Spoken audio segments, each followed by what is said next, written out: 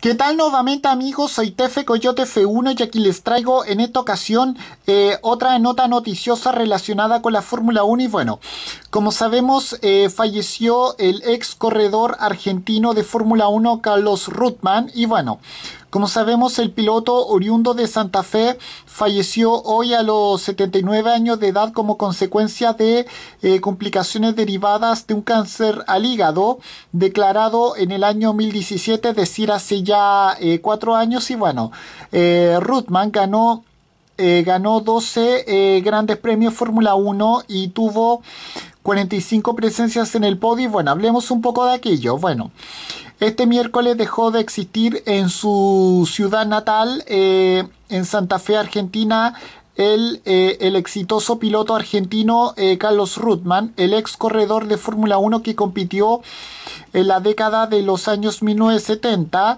hasta inicios de los años 1980 murió en compañía de su familia a la edad de 79 años, según dicen los medios de comunicación transantinos. Y bueno, como sabemos, el ganador de el ganador de 12 eh, competencias y, eh, y, el que obtuvo 45 presencias en el podio eh, murió por complicaciones tardías ocasionadas por un cáncer de hígado sufrido en el año 2017. Y bueno, Ruthman llevaba más de un mes internado en un hospital de Rosario por sangrado digestivo. como sabemos, Carlos Ruthman, quien estaba consciente hasta los eh, días recientes, eh, pidió no volver a la unidad de terapias intensivas en su carrera deportiva.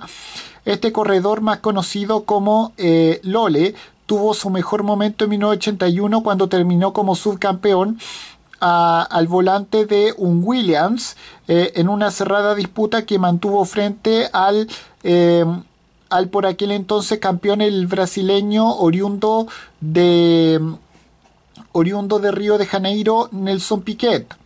Eh, como sabemos, este corredor argentino es el segundo más ganador eh, de, este país en la Fórmula 1 detrás de la leyenda eh, Juan Manuel Fangio, que se había iniciado en 1965 en Córdoba en el, en el turismo de Argentina, mejorando, mejorando el volante de un Fiat 1500. Más tarde se coronó eh, campeón en turismo en las temporadas 1966-67. En 1970 recibió incluso una invitación para correr Europa, a lo que obviamente fue ascendido a la Fórmula 1. Y bueno, con esto me despido. Adiós, que me fuera. Chao.